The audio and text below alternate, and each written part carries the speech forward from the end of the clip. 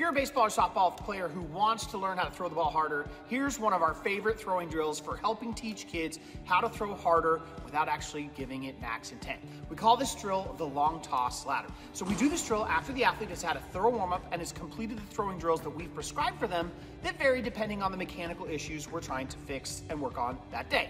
Where the goal is to take the feel of those drills that we're doing and try to add those feels to their regular throws. And the way we set this up is we take the athlete's hardest throw that they've ever had in this case, my daughter's best throw is a 67 mile an hour throw, and we take 10% off of that to come up with the goal of how hard we're gonna try to throw that day.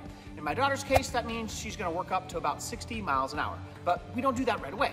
Instead, we want to do a slow buildup of 30 throws to reach that number.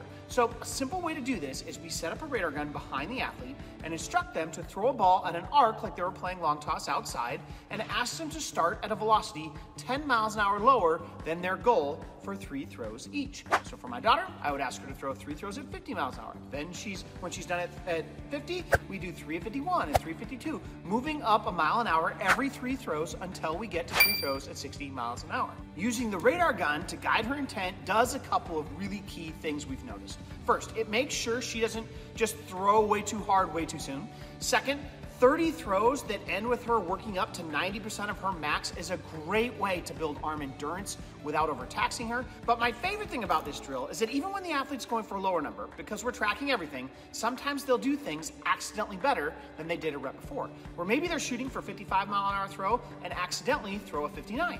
When that happens, it's usually because the athlete did something mechanically better, and it's an opportunity for us to ask them what they're feeling so they can try to feel it again. Where if we didn't have the radar gun on every throw, they wouldn't end up making that discovery and finding those feels that help them throw harder. Now, obviously, this drill is just one of the many types of training drills and workouts we use to help athletes throw harder. It takes a lot more than this. But if you don't live close enough to come into our Lacey, Washington facility, I did put together a free presentation on how we design throwing workouts and our hitting workouts that you can get a free copy of if you click the link in the description section of this video.